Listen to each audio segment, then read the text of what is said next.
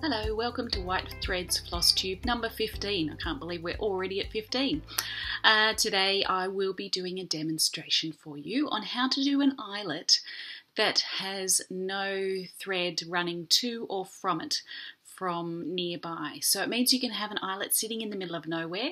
It's a really lovely way to finish off an eyelet um, because it's so much better than poking your thread through the back, um, which we've all tried doing and never had very much success with.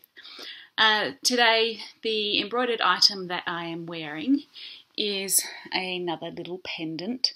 This is one that I made a while ago just for fun. So it's not one that comes in a kit or anything like that. Um, if you'd like it to, then I could certainly put them together. But um, I've got to find the time to write the instructions and hmm, I've got other things to do like make videos and write a book. Anyway. Um,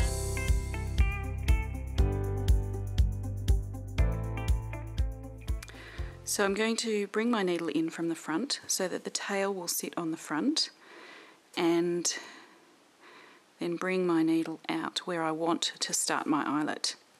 Um, I'm going to work this eyelet in an anti-clockwise or counterclockwise direction. You could just as easily go in the other direction. If you're going to start here and go clockwise, then I would suggest having your tail sitting down here.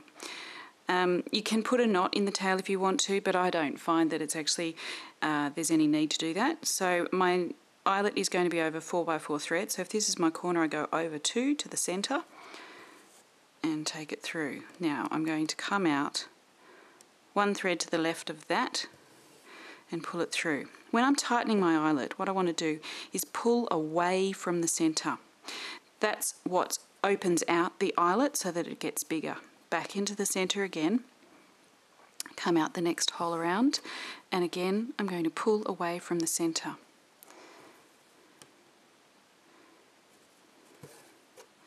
So keep going round, pulling away from the center each time to open up your eyelets. So many times I see people to do eyelets and all they have is this tiny pinprick of a hole in the center. And I think, what is even the point in doing that? Because um, it if it's meant to be a hole, so make it a hole. And as you can see here, I'm not pulling a great deal, and I'm getting a very nice open hole. So don't be afraid to pull. That's our next corner. So keep going around.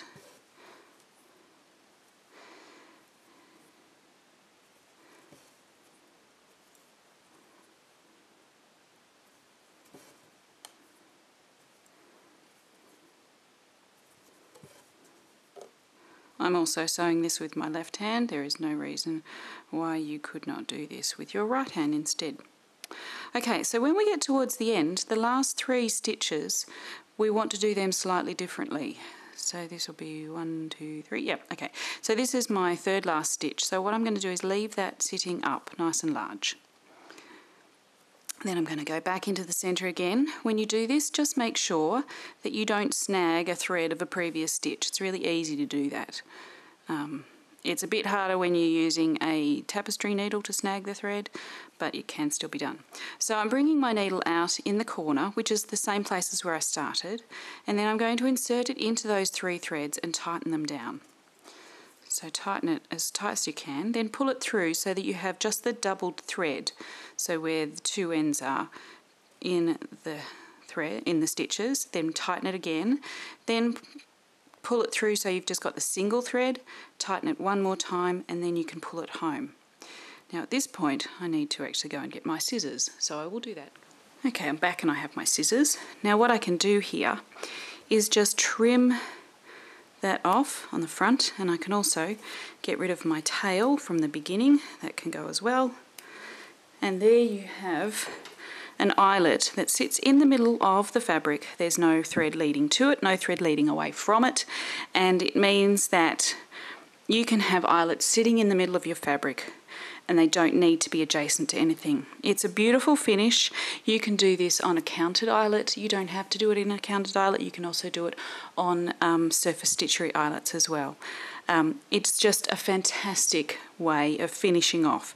Now some people ask me, why is it that you do it on the front? Why don't you do it on the back? Why don't you have that thread on the back? Um, and The reason why is because if it looks good on the front, it's going to look good on the back. And I don't actually care what the back looks like. It's the front that I care about. So I could turn it over and do it from the back, but then I wouldn't know what the front looked like. So if I've already done it on the front, I know the front looks good. And that is so much easier doing it this way than getting our needle and poking it through on the back, which we've all tried to do before and we've never had much success with. So this is a great way to finish off. So I hope you found that demonstration really interesting and useful. Um, maybe there's some things that you can already think of that you could utilize that technique for. Uh, so often we think that um, eyelets need to be right next to something that we can anchor the thread into, but they don't, as you can see. Uh, one of the other really useful things about that sort of eyelet is that you don't get the last stitch showing as the last stitch. So you know how when you do an eyelet and the last stitch comes in and it's just not got the same tension as the rest of them, well this stops that from happening um, and it means that it's no longer a problem.